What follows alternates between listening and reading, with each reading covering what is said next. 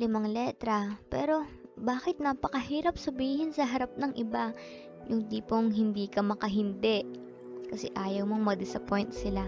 Ayaw mong magtampo sila. Ayaw mong tumanggi kasi importante sila.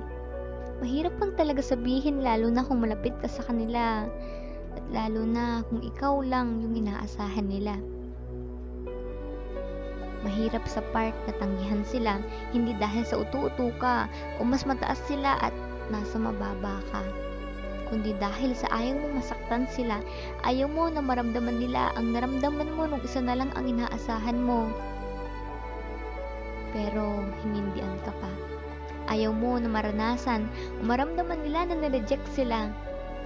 Kasi alam mo yung pakiramdam at ngayon, alam mo na ang makiramdam. Kaya hanggat kaya mong gawin para sa kanila ay wag mong gawin ang tanggihan sila.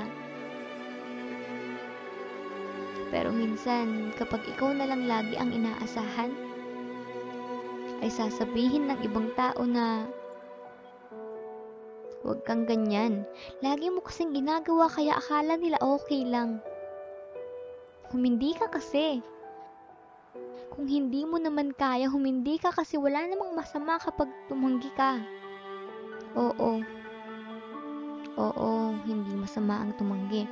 Pero kung kaya mo namang tumulong ay gumawa ka ng paraan kasi hindi din naman masamang tumulong sa iba kapag sila ang nangangailangan. At lalo na kung lalo na kung alam mong kaya mo naman. Mahirap pa-reject. Kaya kung ayaw mong maranasan ay tumulong ka kapag alam mong makakatulong ka naman.